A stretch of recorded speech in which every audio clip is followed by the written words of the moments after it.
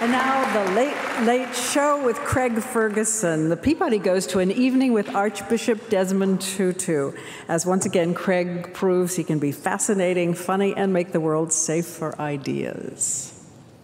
Is that the only way to freedom? Is, is forgiveness? I, I, I, remember hearing something about uh, the Dalai Lama talking about he, he felt he was in danger with the Chinese because he felt himself losing compassion for them, which I didn't really understand at the time, but it sounds a little bit yes. like what you're saying.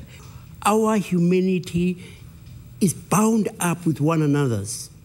And, and you see, we saw it in South Africa if you if you carry out a policy that dehumanizes others, yeah.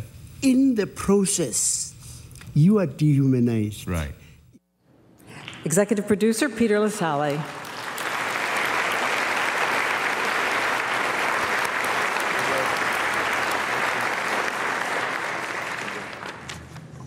Thank you very much for this honor. Uh, after about 50 years of producing late night television, I have the privilege of working with the charming, bright, and enormously talented Scotsman Craig Ferguson. At CBS, we are fortunate to showcase not just actors and actresses, but important figures in literature, the media, and politics. And for one night, the night that earned us the Peabody Award, we were able to have as our guest one of the most important figures of the century, a man who changed the course of a nation and influenced the world, Archbishop Desmond Tutu. In honoring us, you are honoring him. Although he had never been on an American talk show, my colleague,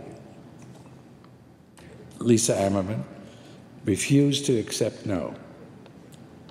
Craig is sorry he couldn't be here today. He's in Los Angeles working hard but he wanted to send his thanks to the Peabody judges in particular for this wonderful honor.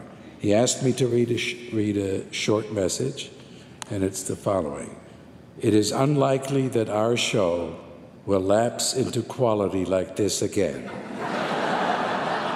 so, our thanks to all of you for recognizing our brief moment of excellence. Thank you very much.